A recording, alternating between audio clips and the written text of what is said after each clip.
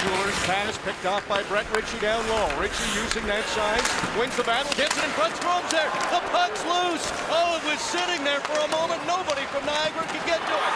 Ryan Strome does here, and what a start for the Ice Dogs. The big line comes through. Ryan Strome makes it 1 0.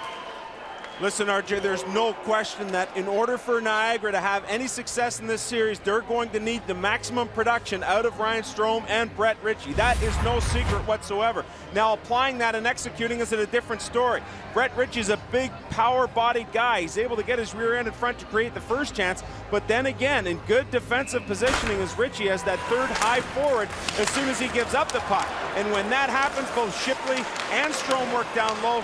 The rebound is created and Strome is there to knock it in.